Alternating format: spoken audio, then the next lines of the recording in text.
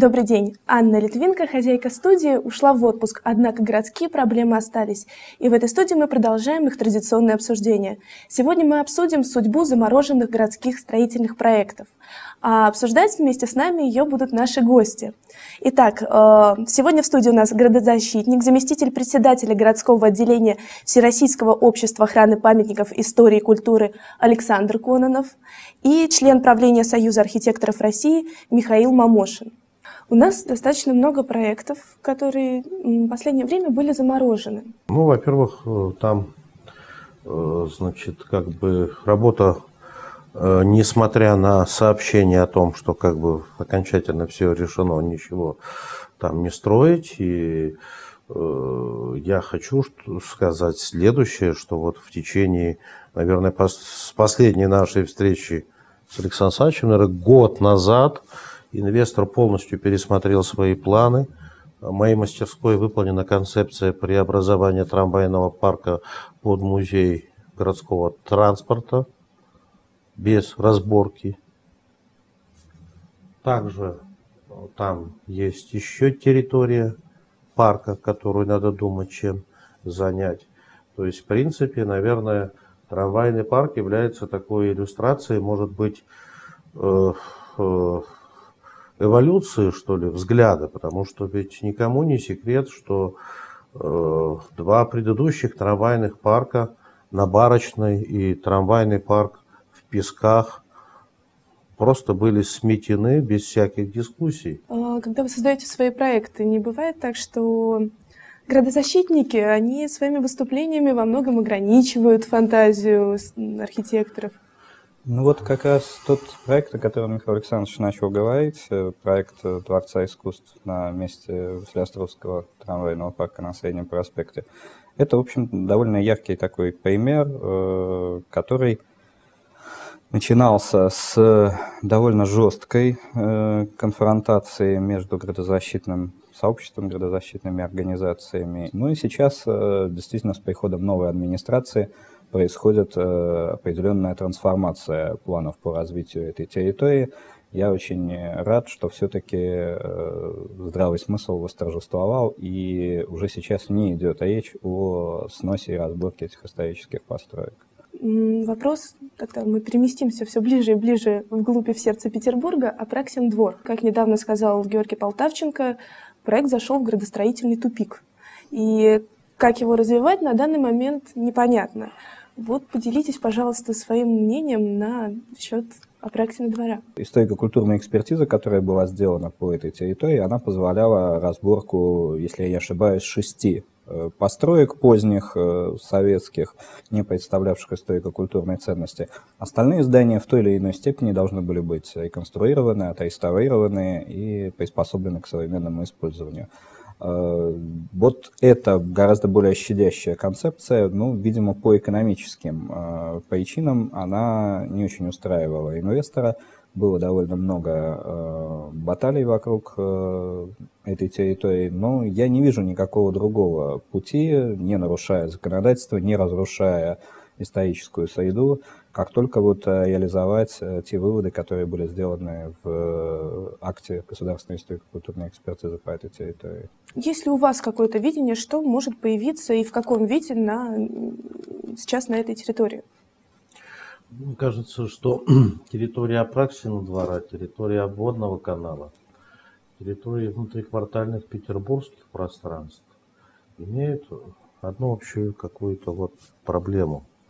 Суть проблемы – это мелкое лоскутное дело собственников, которые имеют каждый свой интерес.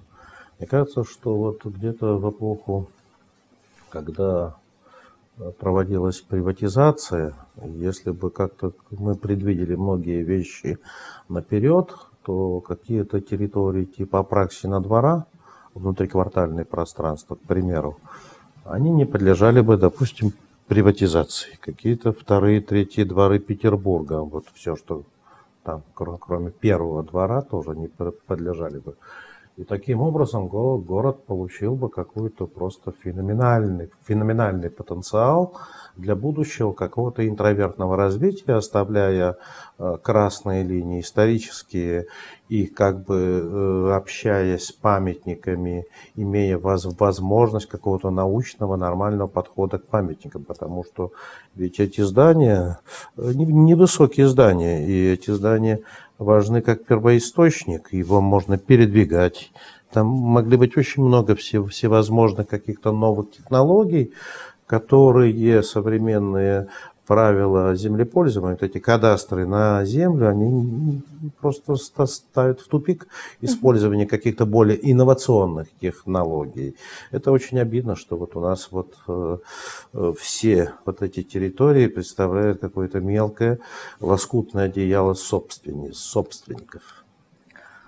У меня есть еще один проект, который, опять же, был приостановлен. Это жилой комплекс э, в, на участке Шкапина-Розенштейна.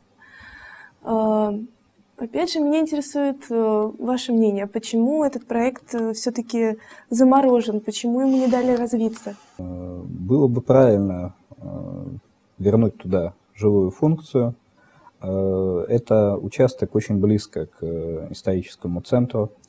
Вот по реализации программ расселения коммуналок, э, работы с аварийным и ветхим фондом неизбежно нужны какие-то э, городские э, участки, где можно было бы строить жилье эконом-класса и переселять туда людей, далеко не все живущие в центре готовы и хотят э, уехать куда-то на окраины. С точки зрения архитектурной, безусловно, э, я считал бы правильным при э, строительстве в этом квартале воссоздание тех фасадных решений по Шкапину Розенштейна, которые были уничтожены вот в результате сноса такого тотального этого квартала.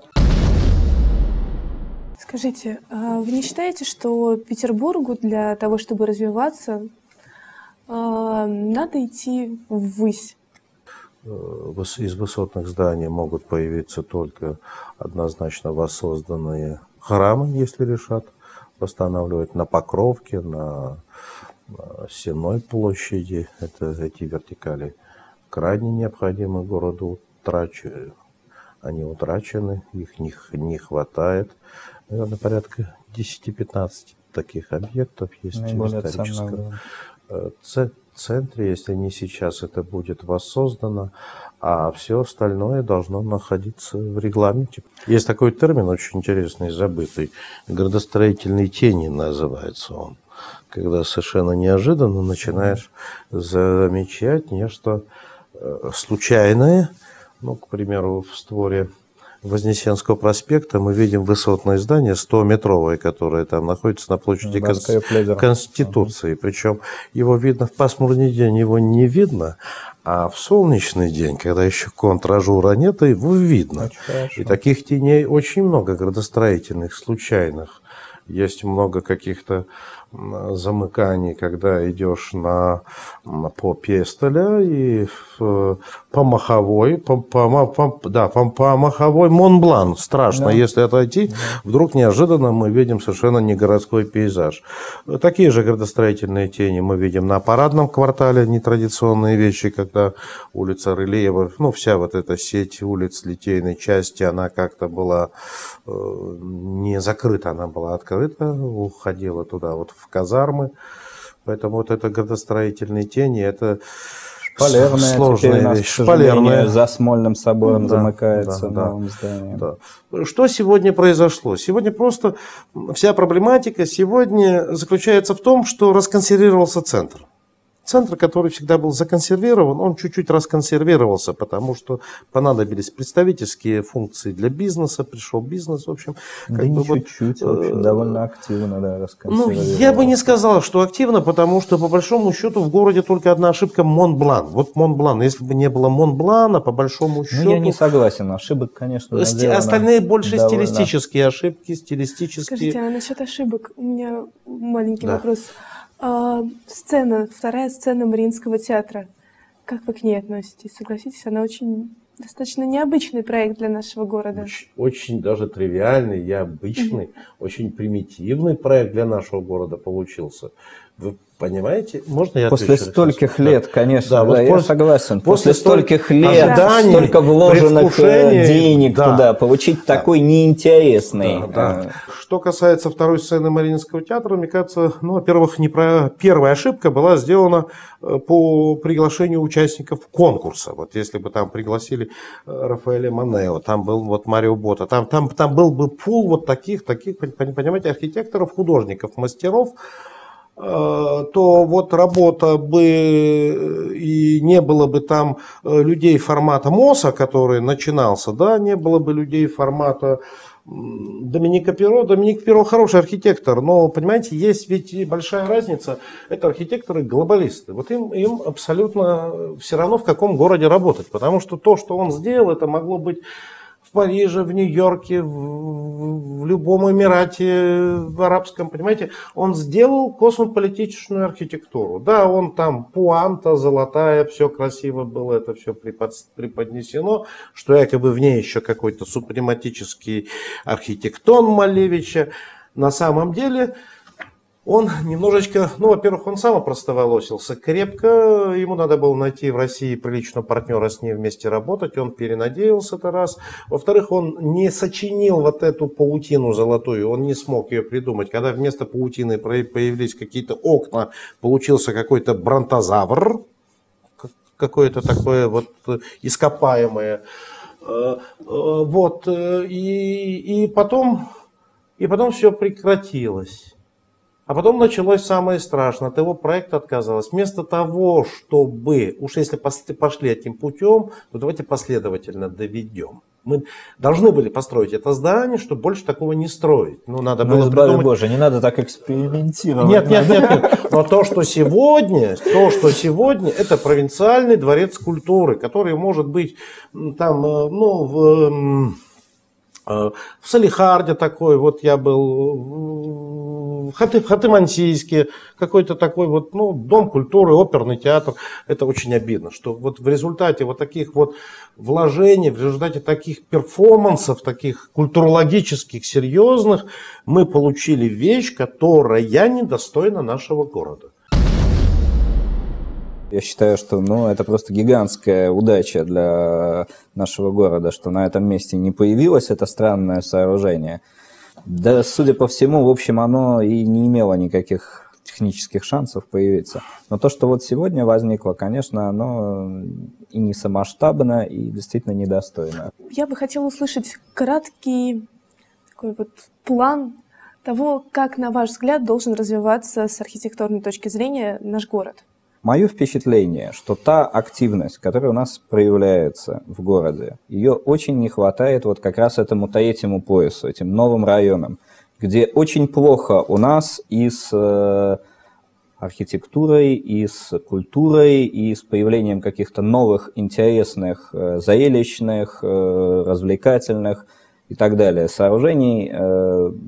Все равно наши горожане едут в центр – Потому что, выйдя очень во многих этих районах новостроек, ну им некуда пойти. Промышленная подкова – это вот э, наша как бы сегодня основная а, поляна, где что-то происходит. И важнейшие стройки вот сделаны в районе там Малой Невки, там уже пошло формироваться.